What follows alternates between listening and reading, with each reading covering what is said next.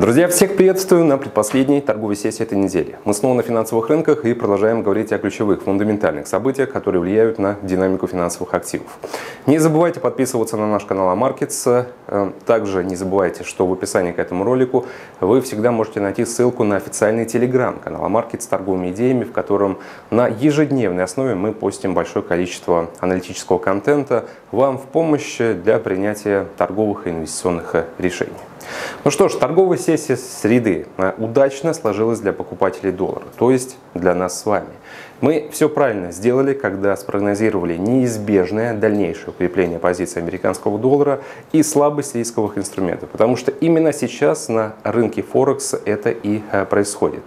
Фунт аутсайдер, я думаю, что еще день-два и мы точно увидим э, тест Э, уровня психологической поддержки 1.15, и этот уровень является еще нашим целевым ориентиром.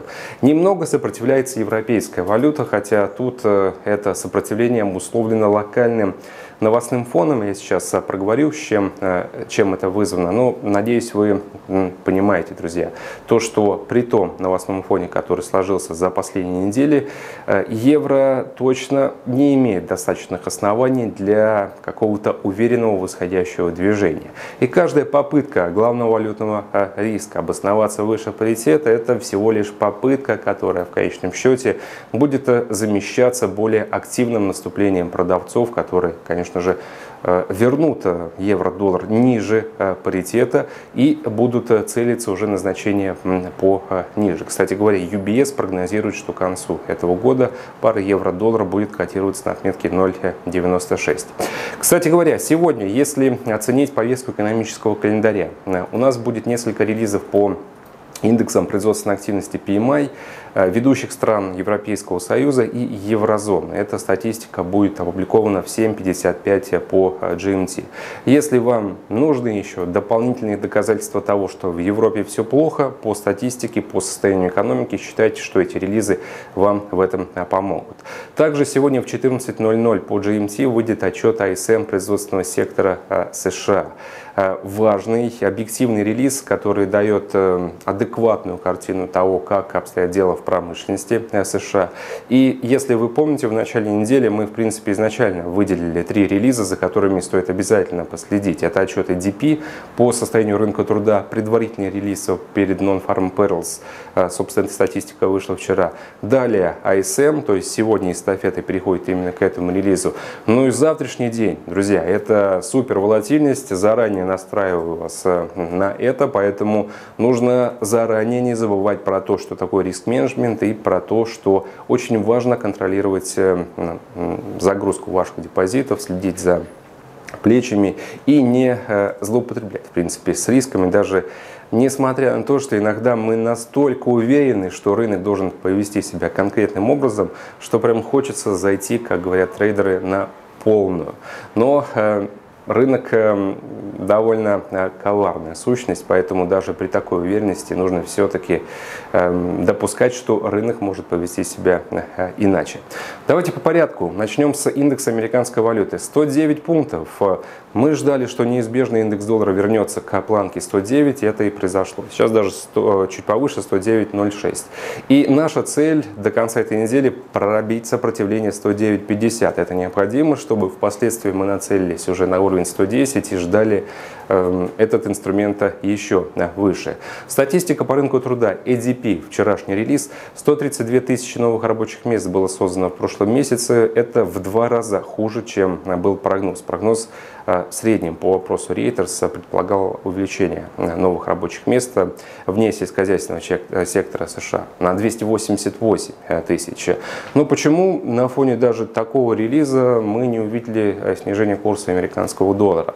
Ну, во-первых, во-вторых и в-третьих, скорее всего, участники рынка решили проигнорировать релиз EDP, потому что это отчет, который Э, был основан на обновленной методологии сбора данных. То есть, если вы помните, последние два месяца мы фактически не имели возможности с вами анализировать EDP, потому что этот релиз опускался и пытались э, разработать новую методику э, объективного, актуального и максимально точного сбора данных.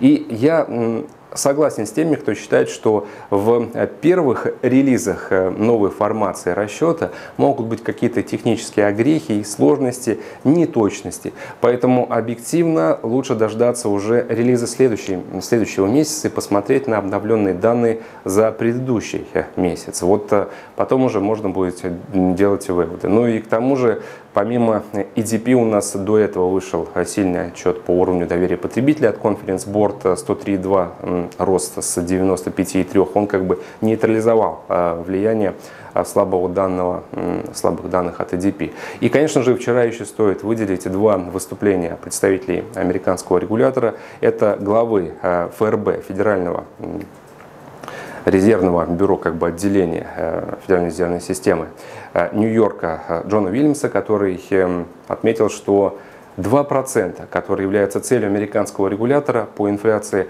будет достигнуто, то есть показатель э, будет достигнуто не раньше, чем в 2024 году. То есть фактически, если читать между строк, Уильямс допустил, что американский регулятор будет повышать процентную ставку не только до конца этого года, на протяжении всего 2023 года. И я не стану с ним спорить, вполне возможно, что так оно и будет. Глава э, Кливленда Лоретта Мейстер также подтвердила, подтвердила, что американскому регулятору в обязательном порядке до конца этого года нужно вернуть ставку до 4%.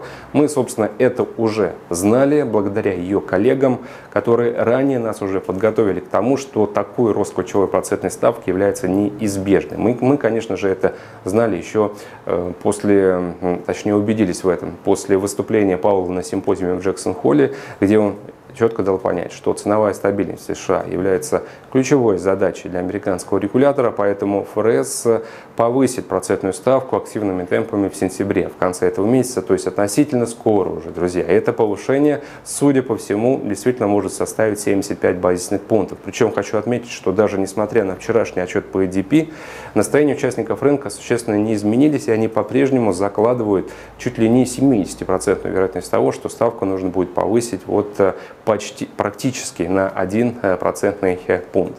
Поэтому по индексу доллара все складывается как нельзя лучше для покупателей. Ждем более высокие ценовые значения. Сегодня э, было бы неплохо увидеть сильный релиз по ISM производственному сектору а в 14.00 по GMT. И было бы совсем замечательно, если завтра не разочаруют данные по Non-Farm Payrolls, потому что если статистика не подведет пятничная, то вероятность повышения ставки на 75 базисных пунктов, я думаю, что коснется уже 80%. И на этом, друзья, индекс доллара будет уже цепляться за 110 э, пунктов. Пара доллар-иена 139.52, это максимум за 24 года. Наша цель 140 йен за 1 доллар, до нее остается 48 пунктов, совсем чуть-чуть. Я думаю, что Возможно, уже завтра у меня будет возможность вас всех поздравить, всех, кто открывал сделку по этой валютной паре в расчете на неизбежный рост э, и солидный профит на психологической э, планке 140. Европейская валюта против доллара 1.0014, около того сейчас котировки. Опять же, рост евро и то, что европейская валюта не просела так сильно, как британская валюта, потому что Трейдеры все-таки допускают, что Европейский центральный банк пойдет э, по стопам Федрезерва и начнет активно повышать ставку. Уже причем на ближайшем заседании оно состоится в следующий четверг, 8 сентября. Это так, действительно. Инфляция растет. Вчерашний релиз по индексу потребительских цен в еврозоне подтвердил, что инфляция сейчас оказалась на исторических максимумах 9,1%. Инфляция будет еще выше, потому что еврозона страдает от э, усиления энергетического кризиса, который, безусловно, разгоняет показатель индекса потребительских цен. Э, при этом э, многие члены управляющего совета Европейского центрального банка уже фактически анонсировали, что ЕЦБ может повысить ставку тоже на 75 базисных пунктов.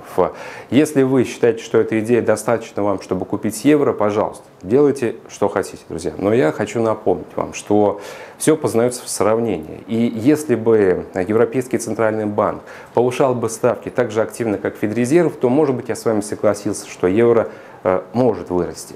Но Европейский центральный банк, даже несмотря на повышение предстоящей ставки на 75 базисных пунктов, будет серьезно отставать от аналогичных действий американского регулятора. Поэтому еще раз повторяю, к концу этого года мы ждем ставку ФРС в районе 4%, а ставка Европейского центрального банка в лучшем случае будет в районе 1,75%. И эм, весь этот новостной фон, э, все эти ожидания по росту процентной ставки, если кто-то из вас, может быть, нашел какой-то неплохой отчет и за него зацепился, все это меркнет, и все это становится неважным, когда мы начинаем уходить с головой в э, тот самый энергетический кризис, который разразился в Европе. Напомню, со вчерашнего дня Северный поток полностью остановлен. Вроде бы как его работа должна возобновиться послезавтра, но э, не уверен. И э, с этим, опять же, согласны власти стран Европейского Союза, потому что вчера они анонсировали экстренный саммит на следующую пятницу, на 9 сентября, через день после заседания Европейского Центрального банка. Экстренный саммит глав Министерства э, энергетики, на котором будет обсуждаться текущая ситуация на рынке энергоносителей и то, как э, Европа может минимизировать последствия полного эм, полной приостановки поставок российских углеводородов в Европу. Я думаю, что в любом случае на ближайшие недели у нас риск развития энергетического кризиса останется доминирующей идеей, и я рассчитываю на этом фоне евро продавить еще ниже, друзья. Британская валюта без изменений. Ждем э, поддержку 1.15. Я думаю, что это практически ближайшие часы.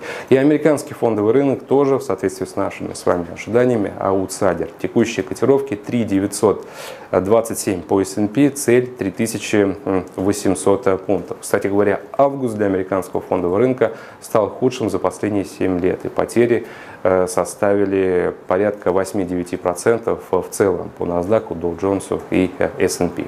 Друзья, на этом, собственно, все. Большое спасибо за внимание и хорошей торговой сессии. Всем пока.